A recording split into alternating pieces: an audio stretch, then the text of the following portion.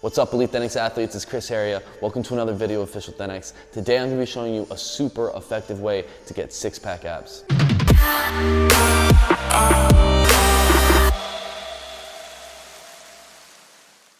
Now, when people are trying to get six pack abs, the most common go-to exercises are usually sit-ups or crunches. Now, these two exercises engage your abdominals, but they're definitely not the most effective way to develop and train all of your six pack abs. And that's because crunching from a laying down position, you're mainly using your upper abdominals and your upper body to complete this exercise, leaving out a lot of engagement in your lower abdominals as well as your obliques. These two exercises may be okay for your top abs, but there are way more effective exercises that you can be doing and will develop your entire abdominals a lot faster. And the most effective exercises that are gonna activate your entire core, those are gonna be hanging abdominal exercises. When you're in a hanging position, you're already engaging your entire core before you even start the exercise. Because we're lifting our lower body from a hanging position, we're gonna be engaging a lot more of our lower abdominals versus lying down in a crunch or sit up position and virtually not using your lower body at all. And you may not realize, but because you're hanging, you're contracting your upper abs and your upper body to stop you from swinging, keep your body controlled, and to complete this exercise. Also, when you're laying on the ground, you're working with the smaller portion of your body weight versus from a hanging position,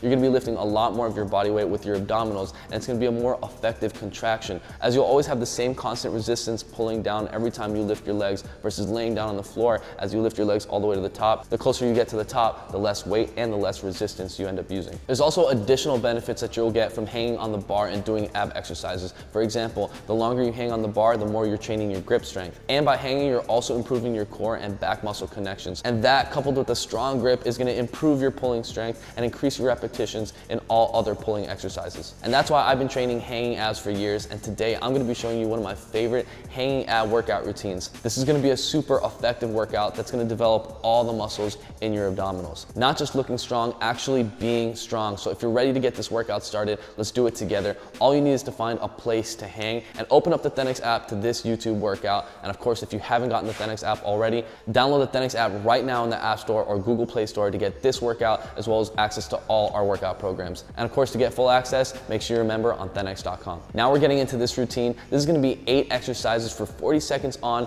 20 seconds rest in between. We're gonna start with the hardest exercise and work our way down to the easiest. If you feel like you need to stop at any moment, you can come down, take a second to catch your breath and go up. My best advice is to slow down if you need to, but try not to stop. And if you come across an exercise that's too hard to complete at the moment, you can always just continue to do a progression of it like leg raises or knee raises. So if you're ready, then I'm ready to get started. The first exercise we're gonna be getting into is toes to bars. Let's go for it. Keep your legs as straight as you can. You definitely don't need to do it as fast as you can. You wanna do it as perfect as possible.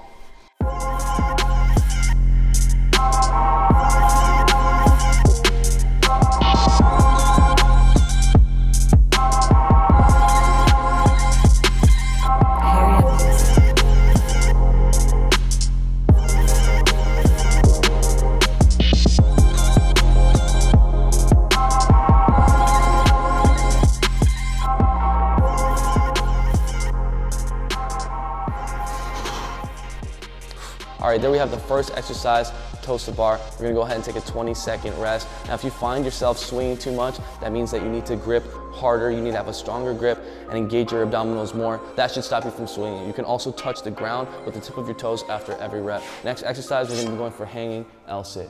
You wanna have your legs at a completely straight 90 degree angle. Now you wanna hold this position as long as you can. If you can't anymore, you can go ahead and bring in your knees to a tucked L-sit hold.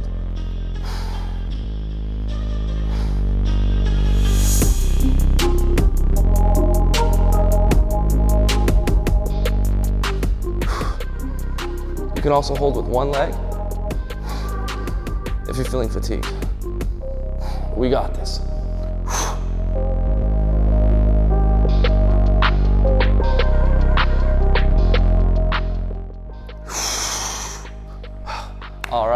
Now if you're able to hang on this far, remember we're starting with the hardest exercises and then working our way down to the easiest. So if you're good so far, it's smooth sailing from here. Next exercise, we're gonna be going for hanging leg raises. Now this is just gonna be like the L-sit. You need to bring your legs up at least 90 degrees.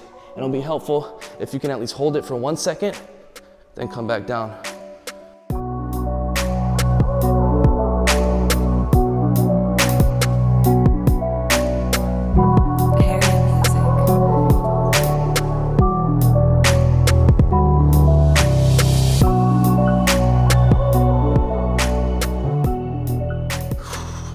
Regulating your breathing in through your nose, out through your mouth. Strong grip. Making sure you're not swinging.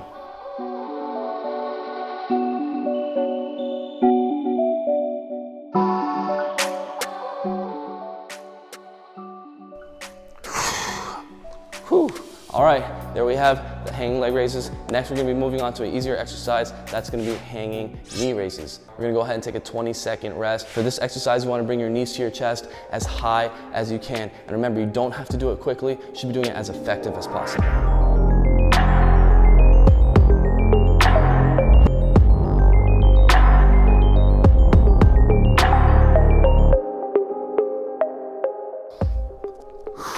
Remember, breathe in, breathe out as you come down.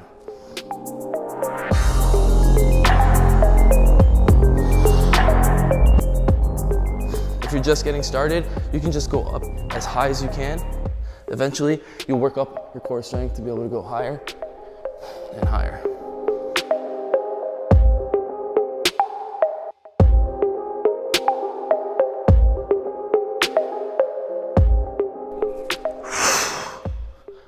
Right, moving on to the next exercise. It's gonna look very similar to this one. Next, we have hanging corner raises. Now, these are just like the hanging knee raises, except when we get our knees to the top, we're gonna go ahead and rotate them in a 90 degree angle, making it super effective, especially for your lower abdominals and your obliques. Let's go for it.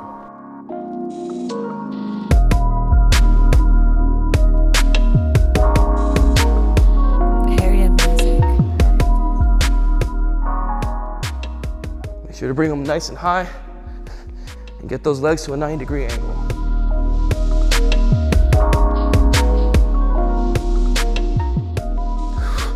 See whichever side your heel comes on, squeeze more and engage more with that side of your hand. When you bring them up, squeeze your core as hard as you can.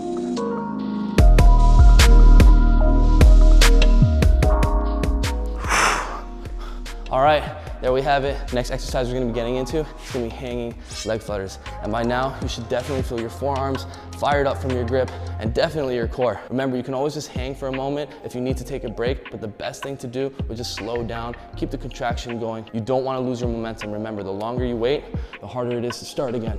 Let's go for these leg flutters.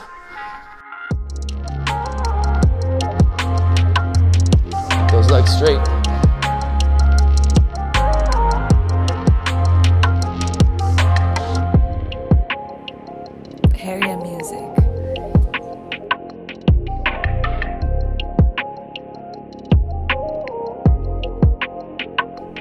Those toes, keep them straight.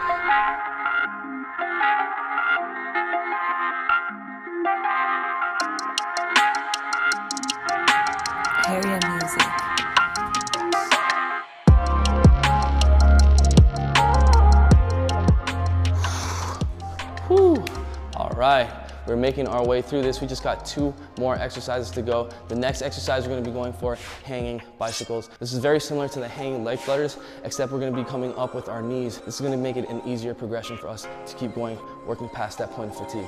Let's go for it.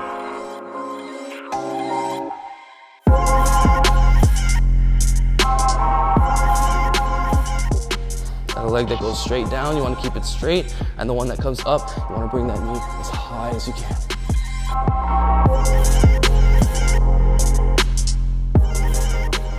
If you can go a little faster, go ahead and try, and if you're feeling fatigued, you go ahead and slow it down. As long as you're going at your own pace, you're going as hard as you can.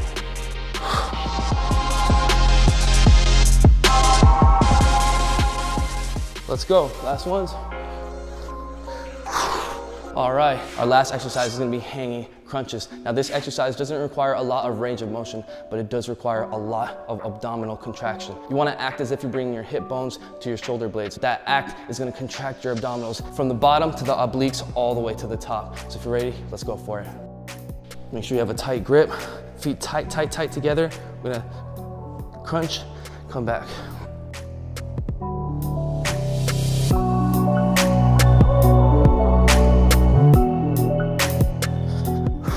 sure to go back to full extension, then crunch back again to really make this most effective.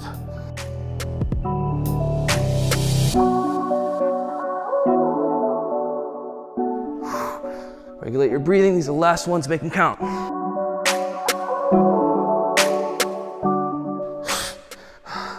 Let's go, keep it going, last ones. Everything you got. Ah. My abdominals are on fire right now. And congratulations if you just completed this with me. We just got through round one. If you complete this routine two more times for a total of three rounds, you're on your way to getting a super shredded six pack, not just looking strong, actually being strong. So remember to get this workout on your phone, as well as full access to all our workout routines definitely sign up to thenx.com and become a member to get full access to all our workout programs, technique guides, and daily workouts just like this one. They're gonna have you shredded. Don't forget to download the ThenX app in the App Store to take our workouts with you everywhere and join the millions of other Athletes around the world getting in the best shape of their lives right now. And with that said, thank you guys so much for watching. If you enjoyed the video, definitely smash that like button. Leave a comment down below and let me know what you want the next video to be about and share this video with a friend that needs a super effective way to get six pack abs. And if you're looking for more of my content during the week, then make sure you're subscribed to my vlog channel. That's youtube.com slash Chris Heria. I post every single Thursday, 2 p.m. USA Eastern time. And also make sure you're following me on Instagram. Almost every single post, I always do some type of giveaway. So if you want a chance to be a part of that, make sure you're following me on IG. For everyone enjoying the music on the channel, make sure you subscribe to my SoundCloud to make sure you have all my latest tracks, soundcloud.com slash Chris. And make sure to play my music the next time you're training for some extra workout motivation. And lastly, we're about to start our Euro trip for 2020. So if you want to see us in your country or you want to attend one of our workshops, then send us a DM to ThenX on Instagram and we'll be getting back to you with more information. Stay tuned because we'll be announcing the dates for our Euro trip very soon. And with that said, I'll see you guys next Sunday, 8 p.m. USA Eastern Time. Mad love. 一下